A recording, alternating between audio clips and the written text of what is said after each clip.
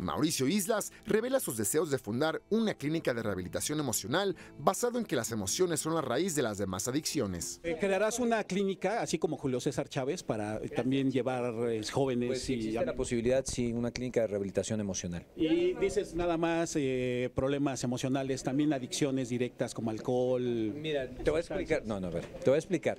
Eh, para mí, el, tema es muy importante aclarar ese tema en decirle, el poner una clínica de rehabilitación emocional o de tratamiento emocional, eh, atrás de el verdadero, la verdadera problemática está en la emocionalidad. La consecuencia puede ser una adicción.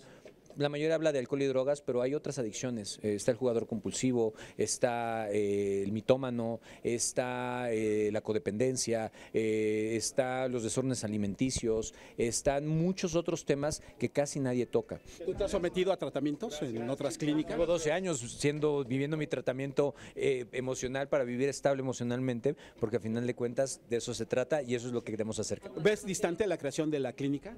No, no la veo muy distante.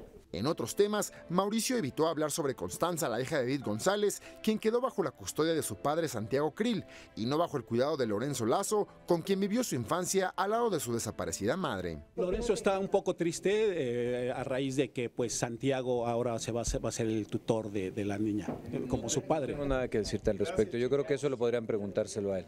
Anímicamente, ¿cómo la has visto?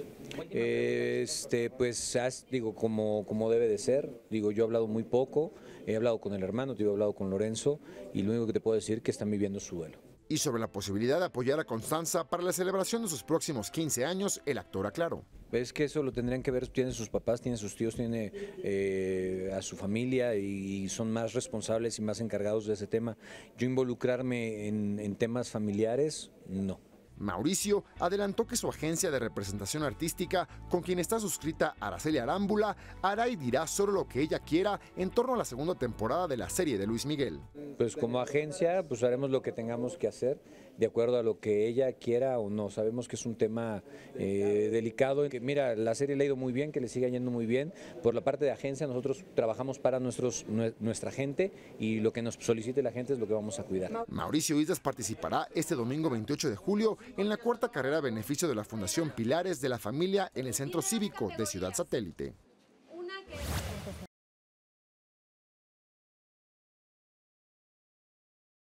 ¿Listos? ¡Listísimos, Pati! ¿Y ustedes ya están listos para suscribirse a nuestra página de YouTube? ¿Qué esperan? Denle click.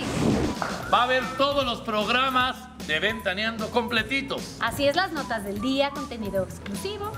Solo aquí, en Ventaneando. ¡Los, esperamos allí!